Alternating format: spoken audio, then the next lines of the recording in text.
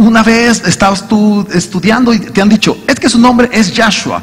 Y entonces todos, todos, todos hemos empezado o, se empezó a, aprender este nombre. ¿Hace cuándo inició? Bueno, hace más de 10, 15 años, aquí a Latinoamérica, a América, llegó varias versiones de la Biblia y empezaron con estos nombres, Yahshua y Yahweh. Y entonces eso fue lo que recibimos los mesiánicos, los, los, aquellos creyentes en, en, el Mesías que decías, es que yo creo, pero quiero aprender más de la palabra, quiero aprender más de las raíces, quiero aprender más. Llegó eso a las manos y entonces se fue extendiendo y por eso hoy en día todos hablan acerca del nombre de Yahshua.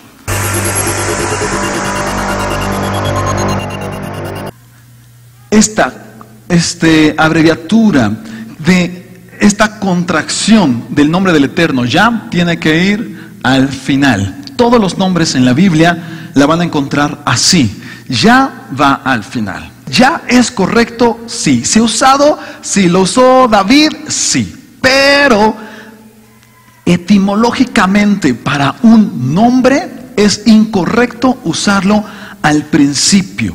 Tienen que ponerlo al final. ¿Ok? Así que podemos ver que es incorrecto el poner ya al principio, el que pongan ya, sí es correcto poner un ya en el nombre, pero tiene que ir al final.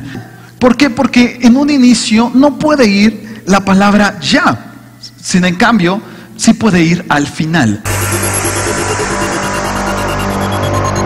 Te quiero decir por qué su nombre sí es Yeshua.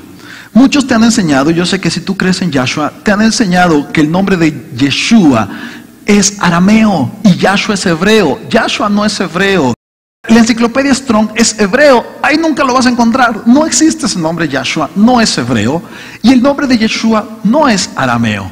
La, la Biblia viene escrito muy pocos versículos en arameo. Entonces, el nombre de Yeshua sí existe en el hebreo. Por ejemplo, y quiero decirte, Yeshua, el nombre de Yeshua, vas a encontrarlo en la enciclopedia Strong, que es enciclopedia hebreo, no una enciclopedia arameo. La palabra, la, palabra Yeshua, el nombre de Yeshua lo vas a encontrar en, la, en el número H3442. Y Yeshua significa Él salvará. Así viene, tal cual. Él salvará. No es un nombre arameo, no es un diccionario arameo, es un diccionario hebreo. Y su nombre Yeshua es hebreo. Pero, en primer lugar, este nombre sí existe.